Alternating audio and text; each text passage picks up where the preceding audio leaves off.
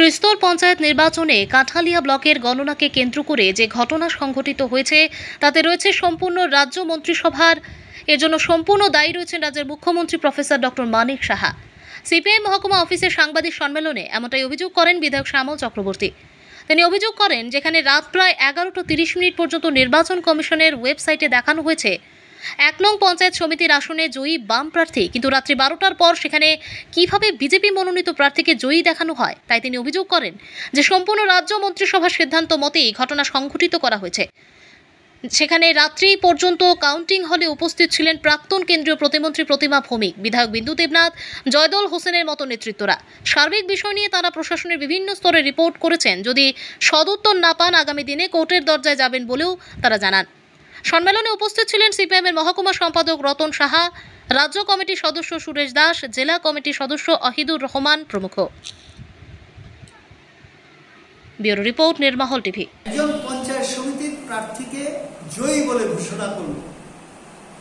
এবং তাতে সে ভোট পেয়েছে বারোশো একানব্বই। ওন সে জয়লাভ করেছে।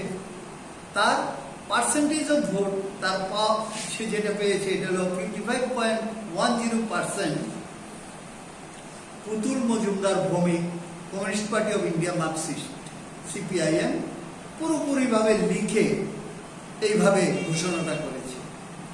সেকেন্ড লস যিনি হেরেছেন, উনি পেয়েছেন হাজার উনচল্লিশ vote forty four point three four percent Priyanka Roy Sarkar Bharatiya Janata Party BJP. আর লস করছে নোটা তেরোটা ভোট পাইছে। এখন এটা ঘোষণার পরে এটা ইয়ে হয় আপনার কম্পিউটারের ইয়েতে লোড হয়ে যায়। ওয়েবসাইটে স্টেট ইলেকশন কমিশনের ওয়েবসাইটে এটা নোট হয়ে গেছে। স্টেট ইলেকশন কমিশনের ওয়েবসাইটে চোদ্দ তারিখ রাত্রি এগারোটা পর্যন্ত। সিপিআইএম ক্যান্ডিডেট পুতুল মজুমদার ভৌমিক জয়ী বলে দেখিয়েছে। আমাদের কাছে বারবার আমরা স্ক্রিনশট দিয়েছি। ইলেকশন কমিশনের ওয়েবসাইটে ত্রিপুরা স্টেট ইলেকশন কমিশনের দায়িত্ব দেখা যাচ্ছে দিয়ে দিতেছে কাগজ দিয়ে দিতেছে।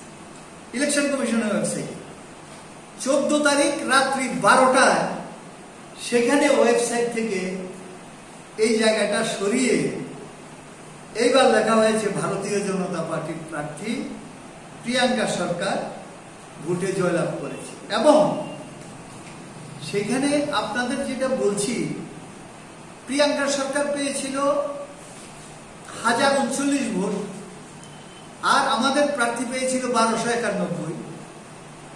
দ্বিতীয়বার যখন ওয়েবসাইটে দেখায়, তখন দেখা যাচ্ছে প্রিয়াঙ্কা সরকারের ভোটটা ঠিক রেখেছে।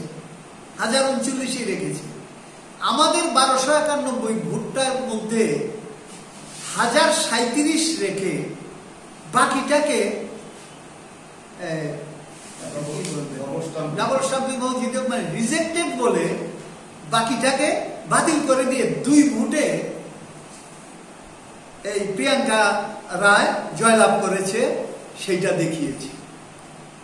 হ্যাঁ বারোশো একানব্বই থেকে কমিয়ে হাজার সাঁত্রিশে নিয়ে এসে এই জয়লাভ করেছে। এইটা উপরের সিদ্ধান্ত না থাকলে পরে একজন বিডিও তার এত বড় সাহস যে এই ঘটনা করতে পারে? এটা ইলেকশন কমিশন এটা এন্টারটেইন করব কেন? উপরে নির্দেশ না না থাকে। তাহলে একদম ক্লিয়ার যে সমস্ত কিছু উপরের সিদ্ধান্তে সেখানে হচ্ছে। এখানে আমরা সবগুলি দেখতে পারিনি, তবে কিছু কিছু দেখেছি। ভোট আপনার কাস্টিং ভোট থেকে কাউন্টিং ভোট কম হবে। অনেক সময় সমান হবে না হলে কম হবে। কেউ দুইটা ব্যালট হয়তো টেবিলের নিচে ফেলে দিয়েছে, এত চারটা করে ব্যালট দিতে হবে, দেয়নি। কেউ একটা হাতে করে নিয়ে এসেছে, এমনও হয়।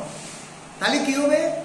যে তিনশো ভোট কাস্টিং হলে গণনাতে অনেক সময় তিনশোই হবে। অথবা দুইশো পঁচানব্বই হতে পারে, দুইশো আটানব্বই হতে পারে। কিন্তু অদ্ভুত ব্যাপার হলো যে দেখা যাচ্ছে কাস্টিং ভোট যা হয়েছে, কিন্তু গণনাতে দেখা যাচ্ছে যে রেজাল্ট দিয়েছে, সেখানে ভোট বেশি। আমি